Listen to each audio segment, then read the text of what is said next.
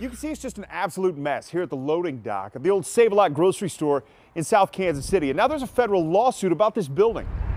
On the north side of this old grocery store, there's a massive divide. See, I lost lost uh, business opportunity. Gregory Mack used to shop here, but stopped when the store shut down. The sewer did collapse, didn't it? It totally collapsed, man. A sewer collapse that first took the building's awning, then the foundation, causing the building's owner, Nine Guys LLC, to sue Kansas City, Missouri, alleging the water department failed to maintain a storm sewer under the parking lot and didn't repair it in time to save the building from demolition. Instead of being a profitable business that made uh, very convenient for the neighborhood, now it's going to get tore down. And that's going to be another empty parking lot in the city.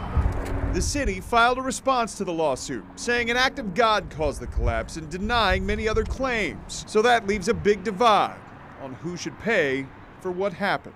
This building is scheduled to come down next Tuesday, and as for what happens with the lawsuit, we'll be sure to let you know. In South Kansas City, Matt Flener, KMBC 9 News.